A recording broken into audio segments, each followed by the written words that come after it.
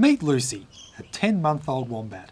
As a very small Joey, Lucy was found in her mother's pouch after her mother had been killed by a car. She was hand raised by a volunteer wildlife carer and then brought to Bonorong Wildlife Sanctuary as she grew to need a bigger enclosure. Lucy will be kept at Bonorong until she's two years old when the process to release her into the wild will begin.